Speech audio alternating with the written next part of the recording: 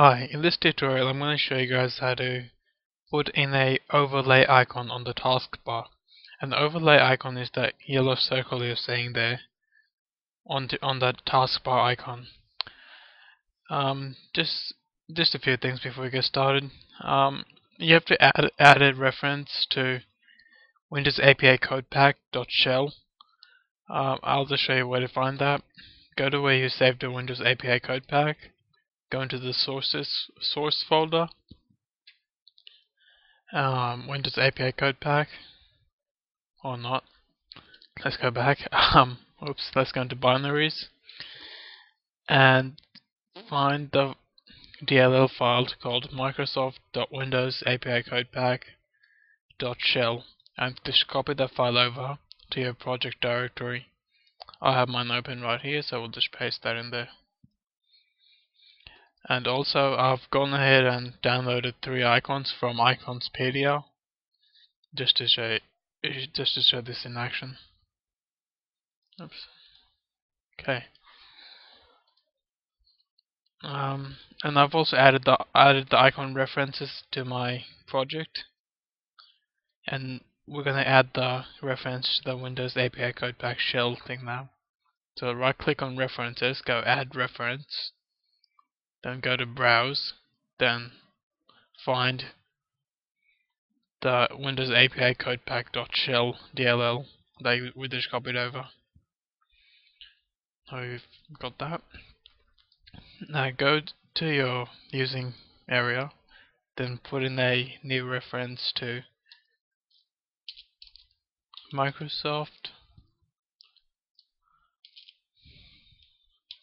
Windows API code pack dot taskbar. And now we're going to create a new instance of the taskbar manager class. So let's do that. We're just going to type in taskbar manager. We'll just call ours taskbar. And we'll set it to taskbar manager dot oops dot instance and that's all good. Now I've also set up three icons called play, pause and stop.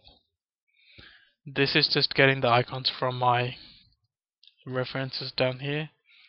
This is in a, a tutorial on how to do this, so here's just the code if you only if you don't know how to do it already.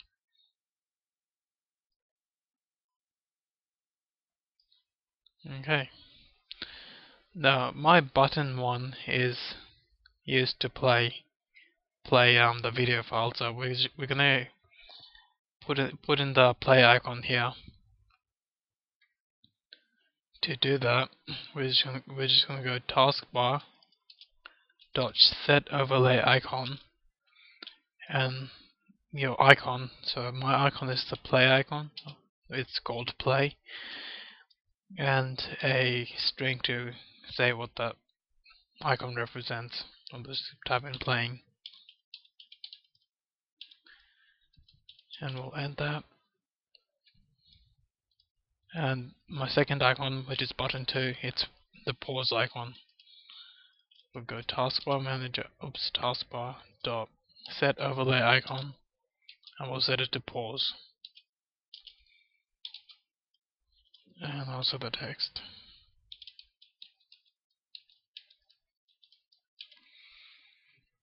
I'll just copy this over for the stop icon, which is my button 3.